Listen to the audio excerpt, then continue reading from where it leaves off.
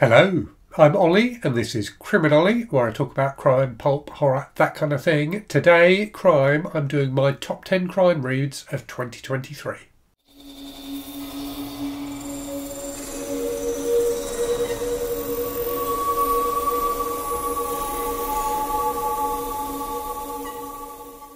So I put up a top 10 horror reads of 2023 video yesterday. Uh, today you get my top 10 crime reads of 2023. Um, and like in that horror list, there's a mix here of, of classics, of stuff through the decades, uh, and some stuff that was published this year as well. So a variety of different things to talk about. There are a couple of series I'm going to be talking about in this list rather than individual books. Um, and there's a, a, a manga series as well as traditional novels. So a variety of different different things. So without further ado, let me get on with the list. So at number 10, uh, one of those classics, um, that is The Moonstone by Wilkie Collins, the classic detective story, sometimes considered to be the first detective story. Um, so Collins was a contemporary and, and indeed friend of Charles Dickens. Um, I've always found Collins's books to be more enjoyable than Dickens. Dickens I find a bit stuffy and boring.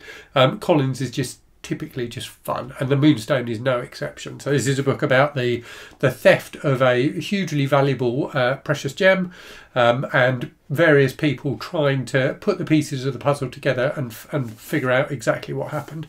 Um, so really, really entertaining. Has a variety of different narrators in it, including one who is is probably my most um, well, the character I enjoyed reading most this year, uh, this kind of elderly servant uh, who works at this this kind of grand mansion, um, and who is involved early on in the investigation into the theft of this of, of this gem, the Moonstone. Um, he was an absolutely fantastic character and really made the book for me. Um, but a really interesting early detective novel as well. Um, you can definitely see some of the, the tropes of that kind of country house style of um, of mystery novel that became you know really prevalent in the um, in the genre in the 20th century. Um, so yeah, that's my number 10 pick. Um, at number nine, uh, the first of the series I mentioned, and, and this is an author actually who appears twice in this list. Um, so the series is the Bernie Rhodenbarr uh, series of mysteries. The author is Lawrence Block. So I've read the first three of these now, and they're just such fun. Um, so Bernie Rhodenbarr is a burglar, and, and the, the books in the series all have burglar in the title.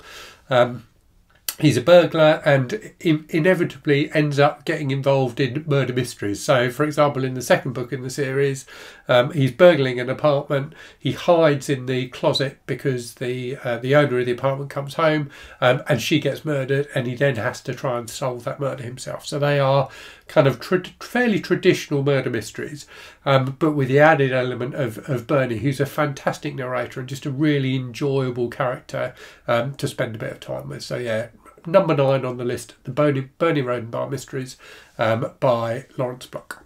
Um, the second series um, is at number eight, and that is the Hap and, Le- Hap and Leonard series uh, by Joe R. Lansdale. So I've read four of these now. Actually, no, I've read five of these now, but four of them I read this year. Um, and, and in fact, those four books I read back to back. That's how much I was enjoying them. I just couldn't stop reading them. Um, so Hap and Leonard are two um, fairly hapless guys um, who live in Texas, who kind of do like manual labour and things like that, and fairly down on their luck, um, and end up getting involved in in various, um, you know, solving various mysteries and righting various wrongs. And the thing that's wonderful about Hap and Leonard as a couple of characters is that they are just their hearts are so completely in the right place. And whilst they are, um, you know, not afraid to, to use their fists and, and, you know, there is quite a lot of violence in these books, they're always striving to do the right thing. Um, so they're a really engaging, likable couple of characters.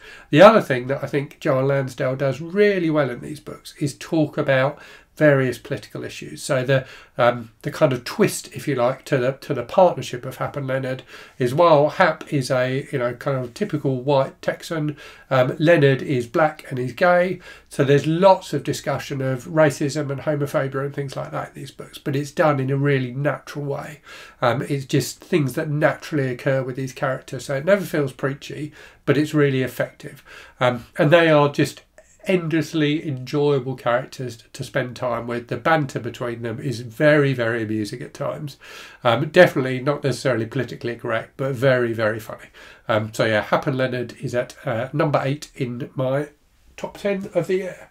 Um, at number seven, a book by an author not typically thought of as a crime writer, um, but I'm really enjoying his crime fiction, which he started writing more recently. Uh, so the author is Stephen King. The book is Holly. Uh, his latest book, so this is a 2023 release, um, following his character Holly Gibney, who he introduced a few years ago. This is just a great mystery, just a really enjoyable thriller, and it's one of those books where you know who you know you know who done it right from the start. You know who the villains of the piece are, and the enjoyment in the book is is in following Holly, the detective, as she figures it out for herself. Um, so there's real tension and suspense in this book. The villains are absolutely despicable, really, really horrible people. Um, so it's great to see Holly, uh, you know, solve solve the mysteries and bring them to justice, which you know inevitably she does. It is a mystery novel after all. Um, but yeah, a fantastically gripping and enjoyable read, and Holly is a great central character. Um, at number six, uh, the manga series I mentioned. So I haven't quite finished this series yet. There are nine volumes in total. I've read the first seven, um, but it definitely makes the list because I think it's fantastic. Uh, that is Monster by Na- uh, Naoki Urasawa. So this is it's almost more of a thriller than a than a kind of crime or mystery novel, um, but it is absolutely fantastic. So it follows this doctor um, who's Japanese who is living in Europe um, who who the, in the first book um, saves this um, this young kid who's been injured, um, and he the, the kid has a twin, and there's all sorts of weird mystery stuff going on with these twins and with their adopted parents. Um, and the book follows the doctor as later on he tries to track them down and find out exactly what was going on, um, what was going on with them. So there's a string of murders that he's investigating. There's all sorts of kind of running around all over Europe. There's some really, really creepy stuff um, as well. It kind of fringes on it kind of gets to the fringes of the horror genre at times i think as does holly um, i think monster does a bit as well just because some of the some of the backstory in this book is really really creepy um, but a fantastically gripping story i can't wait to finish it um, and the thing that urasawa does really well in this is introduce incidental characters and give them engaging interesting backstories and make you really care about them um, so whilst the, the hero in this book is an interesting character. He's a fairly he's a fairly kind of typical hero. Um, you know, kind of trying to do the right thing. The real richness in this in this series comes from the from the other characters who really do add something to the to the overall experience. Um, at number five, then, uh, we have the second book by Lawrence Block. So he's the only author um, who appears twice in this list. Um, that book is The Naked and the Deadly, uh, edited by uh, Robert Deis and Wyatt Doyle. Um, so um, Dyson Dyson Doyle run uh, Men's Adventure. Um, what's it called? The Men's Adventure Library, which is a, a, publisher that publishes fantastic series of. They do like a quarterly kind of magazine style thing, um, but also do lovely books like this where they reprint stories and articles and artwork um, from men's adventure kind of pulp type magazines from the 50s and 60s. Um, this one collects stories and articles written by Lawrence Block and is an absolute joy to read. So there are some fantastic kind of crime and, and hard boiled mystery type stories in here. There's some really interesting articles as well um, and fantastic um, illustrations plucked from those old magazines too. Um, just like that. Um, so yeah, just a wonderful slice of kind of pulp entertainment. I had a great time with this book. It was just pure pleasure from beginning to end. At number four, another one of those classics, uh, The Lady in the Lake by Raymond Chandler. Uh, so one of the Philip Marlowe mysteries. Marlowe is just such a great character, such an archetypal hardboiled detective, and I really enjoyed the mystery in The Lady in the Lake as well. There's a load of stuff going on in here. Um, I won't go into detail because I think it's quite an easy story to spoil, um, but a fantastic hardboiled mystery, and Chandler's writing is just impeccable. His prose is just perfect. Um, I never have a bad time with a with a Raymond Chandler sentence. Um, just his his sentence structure, his use of simile and things like that is really really wonderful and makes for a very enjoyable read. Um, and the mystery is fantastic as well.